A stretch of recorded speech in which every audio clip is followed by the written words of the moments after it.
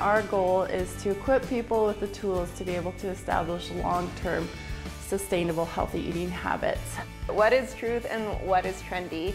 Um, and we definitely get carried away with the trendy aspect a lot. This is one of my favorite recipes. It's super simple.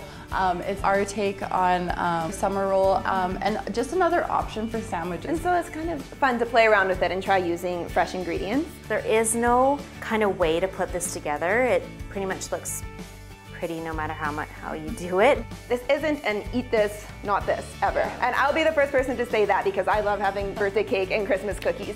It really comes down to that moderation. We want to take the fear out of eating, take the guilt out of eating things that you enjoy, that might be sweet, but just give you the information that you need to make a good informed choice.